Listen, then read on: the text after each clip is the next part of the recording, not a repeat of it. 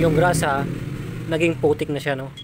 Hello mga kabisik, welcome again sa ating YouTube channel, Motorcycle Basic Mechanic, wherein we can learn repairs and tutorials and vlogs. Please subscribe and click the bell for the updates of our latest videos. Thank you so much and God bless everyone. At ngayon, meron tayong papalitan na bearing ng ating motor, no? Ito yung ating papalitan, itong kanyang uh, front bearing sa wheel drive. So ito mga kabisik, ay papalitan natin dahil nga syempre ito na ay maganit, okay? At kung mapapansin nyo, uh, nagkakalawang na dito part, ano? Ibig sabihin yan, talagang yung ating bearing ay nawala ng grasa, no? Nahugasan na ng tubig yung grasa natin. So, ito yung disadvantage sa la- lagi tayong uh, dumadaan sa isang uh, matubig or syempre kung hindi maiwasan yung daanan natin talagang meron tayong kalagpasan ng mga uh, creek na sa ating mga pinupuntahan talagang lagi nababasa to nahugasan yung grasa niya kaya pag ito ay tumagal-tagal na ay nawawala na yung grasa no at nagiging ko na siya hindi na maganda yung ikot ng bearing natin Siyempre ito umiinit ito. Siyempre gumagalaw yung ating uh, gulong. So, yun ang isang sign na talagang palitin na yung ating kwan, ang ating uh, bearing, yung makita niyo dyan, no, brown brown na, na medyo kalawang na siya, no. Ayan. At saka siyempre, ma-check mo yan pag hinawa, yan, inangat mo yung yung gulong sa harapan, tapos ugayin mo lang siya, no. Ugayin mo siya ganun, no. Up and down. Okay, kita sa kamay ko, no. Yan, basta yan, hawakan mo sa taas. Okay, dito sa taas sa baba, tapos up and down mo siya, mararamdaman mo yung pag-alog ng ating gulong. Ibig sabihin, yung bearing natin hindi, na okay. So, yun ang ating papalitan.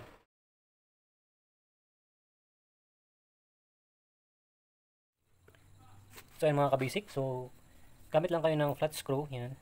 Sa wheel nyo lang to. So, may, kung mayroon kayong ganito mga kabisik, wala kayong special tools pang tanggal ng bearing, So, make sure lang na kaya natin na gamitin yung ganito. So, lagay lang natin dito sa loob. Okay? So, sasala naman sa bearing yan, no? Sasala sa bearing yan. Tapos, pukpukin ninyo, no? Pero, siyempre, pag pinukpok mo sa kabila, pukpukin mo din sa kabila.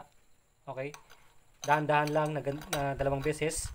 Dahan-dahan lang na pukpok yan. Hindi matanggal ngayon yung ating bearing. Yan. Okay? Ito yung bushing niya sa loob. Saka sa kabila, at least makikita mo na siya.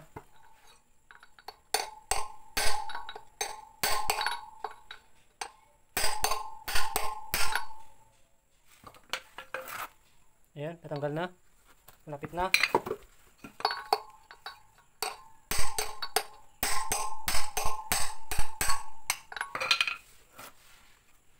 So, kinalapang na talaga siya mga kabisik, you know. Grabing kalawang. Bakit nagkaganyan? Kasi wala na siyang grasa, no? Naubos na yung grass niya, grasa niya. Ayan. Kung try natin buksan to. Ayan.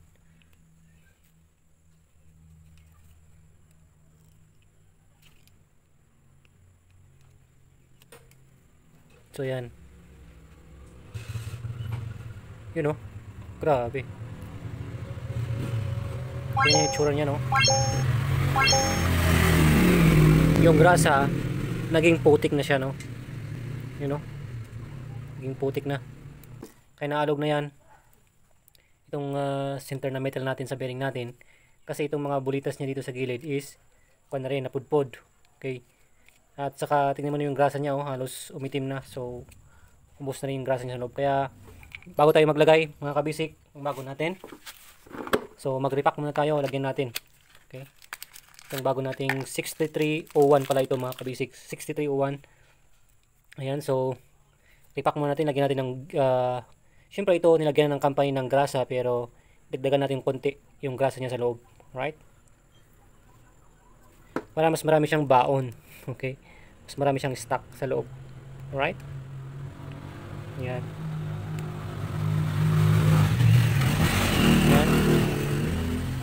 Okay, yan. So yun, no, meron naman siyang grasa sa loob, no? Pero dagdagan natin para mas marami siyang grasa sa loob. Lagyan natin ng baon para hindi siya magutom. Yan.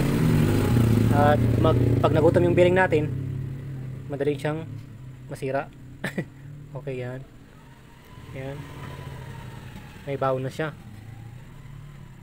Okay, yan.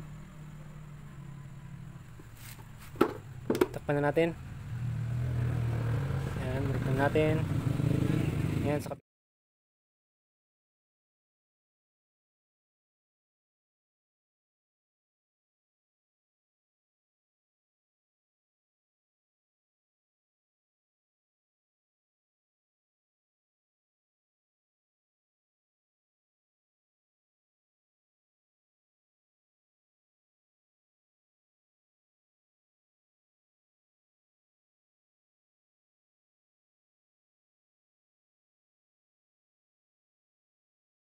So ayan, so pupukin natin dyan sa gilid-gilid lang. Ayan. Huwag sa gitna. Okay, yan.